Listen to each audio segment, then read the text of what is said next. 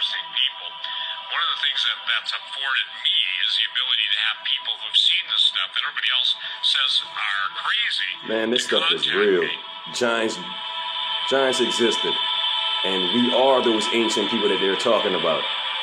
They've been hiding it from us this whole time. Look, that's why they're starting to come out now and tell you guys. were in stasis were found in an unknown Utah cave. Look at this, giants, and and they are they are black people, ancient black people found in caves in America. Giants in the caves of They said that you can get through Utah, the desert southwest, what is it, Grand Canyon? You can go through the Grand Canyon, and get to Africa that way. You can't turn anywhere to the east, west, north, or south and not encounter somebody that knows the myths.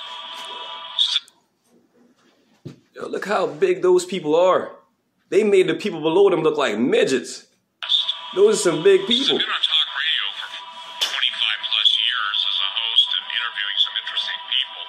One of the things that that's afforded me is the ability to have people who've seen this stuff that everybody else says are crazy Right. to contact me.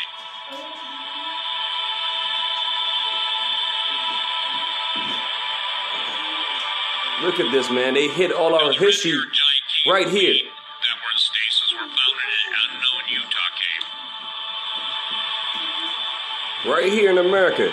They said the, the Great Pyramids are here. The presence of giants in the caves of southern Utah and southwest are so numerous that you can't turn anywhere to the east, west, north, or south and not encounter somebody that knows not only the myths and legends. You heard that, right?